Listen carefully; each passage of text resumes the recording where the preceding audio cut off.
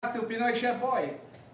Today we're preparing um, pricking, kicking wings. Um, uh, this is a this is an easy recipe. You really don't have to overthink about it because this is uh, easy. Uh, my ingredients here is uh,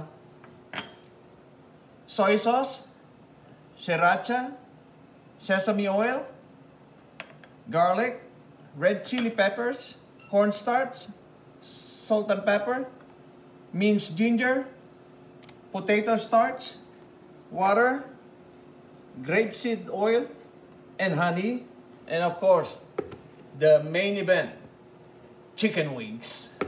Uh, we'll cut this uh, chicken, we'll separate the chicken, alisin natin sa, pag-iwalay natin yung drumettes and wings, no? Tapos nito, isi-season ko siya with uh, ginger, garlic, at sriracha.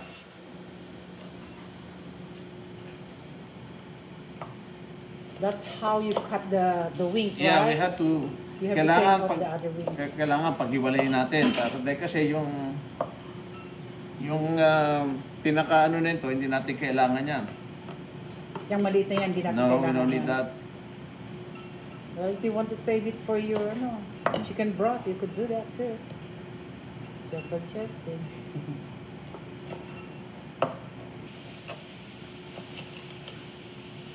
Okay, move this right here.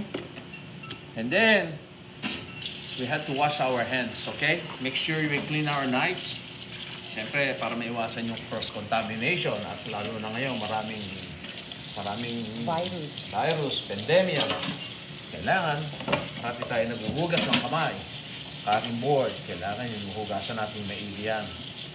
Sinataya, sanitize natin maigi. Tapos niyan, pagka-sanitize mo niyan, okay, hugasan mo naman yung kamay mo. Hugas ng kamay, Itapon naman yung mga dapat. Hugasan mo yung kamay mo in 20 seconds. Happy birthday to you.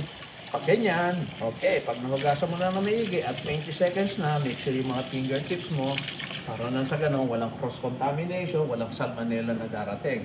Okay? Maliwanag. Ayan namin. na natin yung pamaya yun. Okay. Now we'll uh, uh ma-marinate muna natin yung uh, wings, no? Put some uh, salt and pepper. Then um, half of this ginger, because half of this uh, lalagay natin dun sa sauce, no? And then uh, garlic, maybe a little, a half of this. And then sriracha.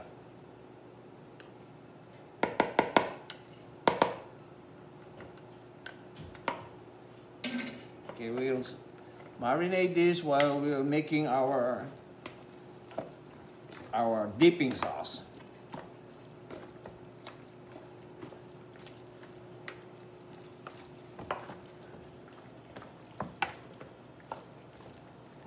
Put some more salt and pepper. That. You're doing a, a fold mixture, right? Your, your technique, uh, We just want to make sure this is uh, y- ano, yung siniseason sa atin evenly seasoned, no? Para wala tayong malagpasan. Okay, let me let, let's sit there for a little while while we're making our sauce. Okay, now uh, I put my uh, cooking oil. Okay, let me turn on a little of my sauce first before anything else. is that the grapeseed oil? No, this is uh, just regular oil. Okay, then uh, garlic. Excuse me.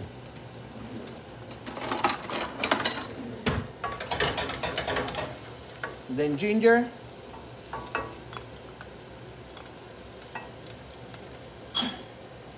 Let's sweat a little bit so that way release the flavor. Ayan, masarap yan pagka ang flavor nakalabas, lalo, nang, lalo mo malalasahan. And then, pagka medyo release na yung flavor, I can smell from here. You smell there? Banji? Oh yeah, Masagot ah.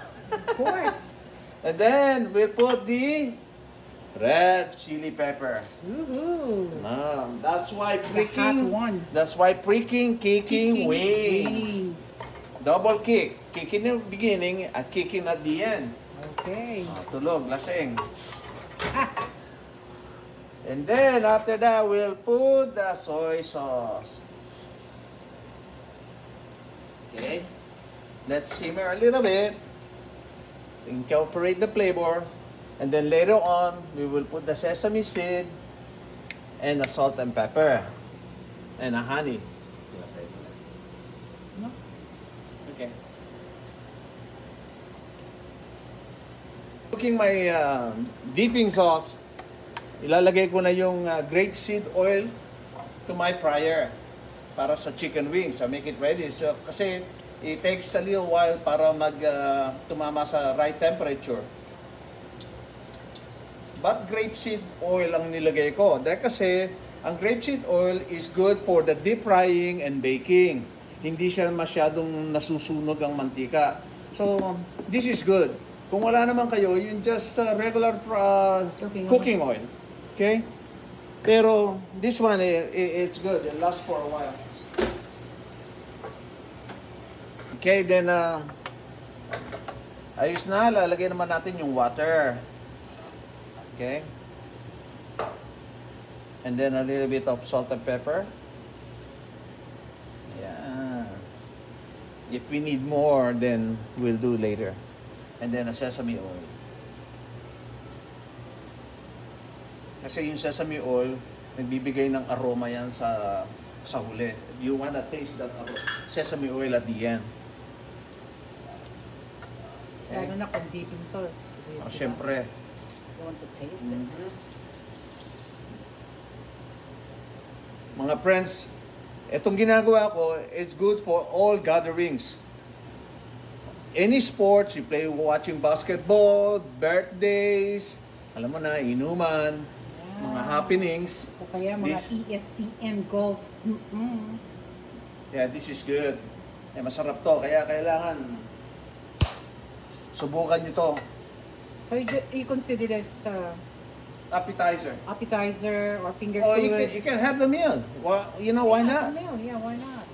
add this to your to your uh, to your steamed rice, Mhm. to your salads, or whatever on the side. Yeah. Ah, ganun ba? Wala lang. Let me taste a little bit. Tingnan natin kung okay na.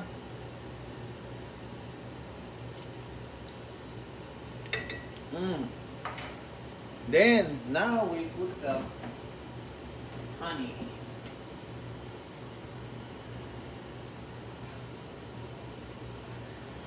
So while you put the honey, It, it gave you the sweetness and at the same time uh, spicy.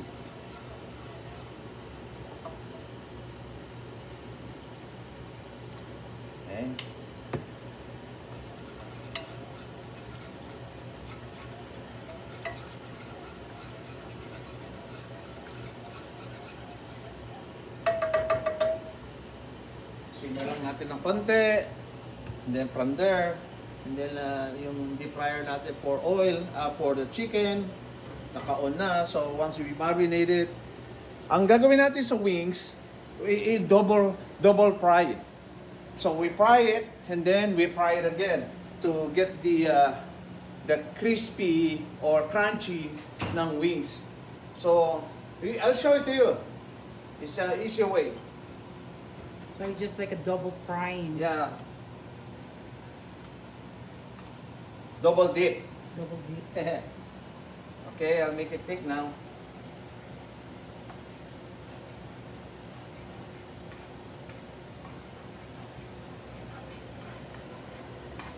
There you go.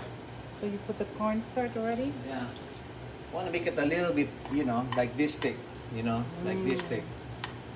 Because you want to, later on we'll we'll coat this in uh, our chicken. Turn it up, taste it. Yeah, God. Game is over. This is good. Well, not yet. You still have to fry the chicken. I know, the chicken is good. Okay. Uh, uh, ngayon, lalagay na natin yung potato starch, no? Yung breading natin. So, chef, ba't hindi pa pwede yung, ano, yung flour lang na regular? At All-purpose? tinatanong mo kung kung gusto kung kung all-purpose flour o cornstarch, uh, bakit potato powder? Yeah. Right? Kasi actually pwede naman lahat 'yon. Kaya lang dumi ang tuloy yung damit ko. Ah, kaya lang ang ang ano, ma- mas gusto ko kasi gamitin ng um, potato starch at eh, medyo lighter siya sa cornstarch at saka eh, tsaka sa regular flour. It's, ah, but it's the same result. It's uh, pareho naman nagbibigay ng ah, it produces the thicken uh, thickening liquid, no? Pero potato starch came from the ah, from the roots. No, potato, that's why. Cornstarch is grain.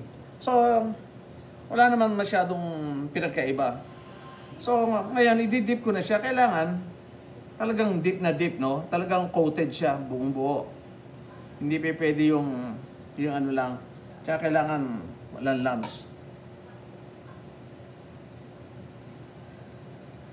So, yung potato starch na yan, they could find it in any Oriental Oh, you can store, get right? that in uh, any any Asian store. Makikita niyo yan dyan. Hindi naman ano yan. Hindi naman uh, ano yan, kahit sa regular, Regular groceries, makikita niyo yan. At um, pero mas sigurado kung sa Asian store kayo pupunta, lahat ng lahat ng kailangan nyo Naku, makikita doon. uh, tungkol sa Asian na cuisine nandiyan dyan sa ano. Okay? Yung ah, yung ah, ating ah, oil hi- na hintayin ko lang siya maging 350 degrees tsaka natin siya uh, ipapry yung wings. Okay. Okay? Let's at check natin yung temperature ng ng ah, oil no kung ready na siya. Kailangan 350. At ah, tignan natin no. Ito ang temperature ko no, thermometer ko. Kung meron kayong thermometer at wala kayo kung pwede bumili kayo, bumili kayo. It's 460 na. So pwedeng pwede na siya, no? At ah, ngayon, ilalagay natin yung yung ah, wings natin, no? Pero ang paglagay ng wings, dahan-dahan para hindi mabigla yung temperature ng oil. Kasi pag pinagsabay-sabay mo yan, yung temperature babagsak. At ang mangyayari sa chicken mo, hindi na fried chicken, is uh, soggy fried chicken.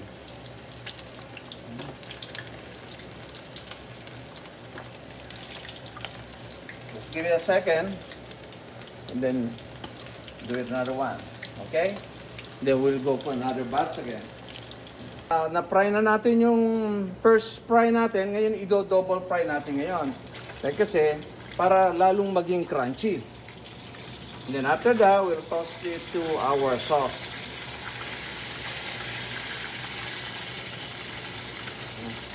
Madali na lang to dahil kasi crunchy pa naman din siya. Kaya lang, mas maganda kung i-deep fry natin ulit. Kailangan, pagka nag-deep fry kayo, anything na mag-deep fry kayo, mag-fried chicken kayo, kung ano man yung i-deep fry nyo, parating kailangan meron kayong grate. Ito ang sinasabi ko, para yung gano'n, nag-drip yung oil niya, kung, kung wala kayo niyan at uh, nakalagay lang sa isang malaking pan o nandiyan lang sa pan, magsasag yung chicken nyo. Kamukha yan, ha? Nandiyan ho yung mga, Oh, yung mga oil niyan. Pagka nandiyan dyan yung oil nyo at nandiyan dyan yung uh, chicken nyo, hindi na fried chicken yan. Okay? Ah, sinasabi ko lang dahil kasi para mala, para ma, mas masarap ang ano, Pag uh, pag na-dry- kinain nyo yung chicken. Pag-dry siya ng konti o ano, Mhm. at malutong siya pag dinabit mo sa kawali. Yung gawin natin, two batch, no? Okay. Okay na. O na? Okay. So now, ah, na double fry na natin siya. Kukunin na natin ngayon siya, no?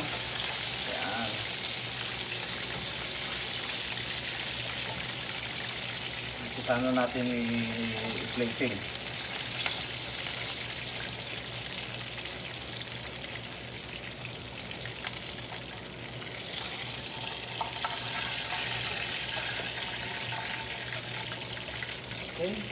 Okay.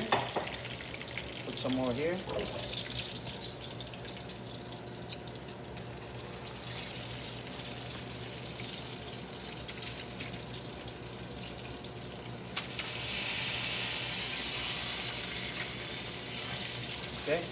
Tayo.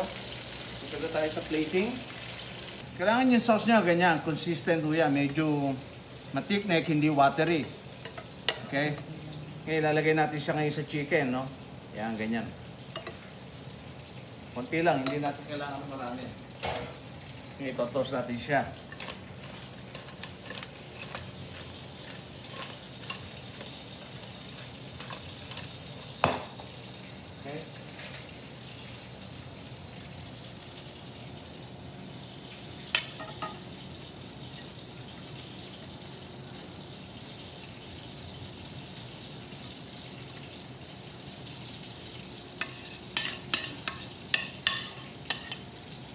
It's good for three people.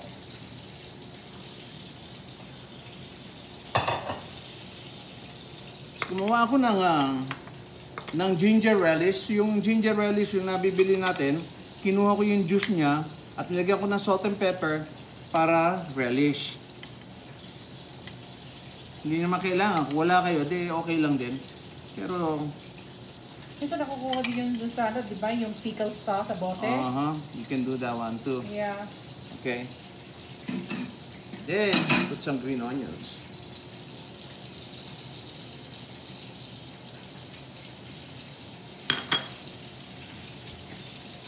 Almost there, guys.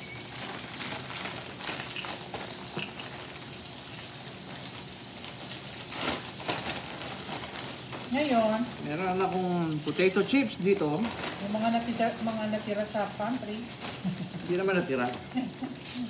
okay. yung mga ano naman, Mhm. Yan. yung mga extra. So we put the picture right here so you could see the view. Yeah. There you go. The freaking kick in wings. This is good. Gotta try this one. Enjoy. Yeah. With your beer or margarita. But you know what? Let me try this. Okay. Try.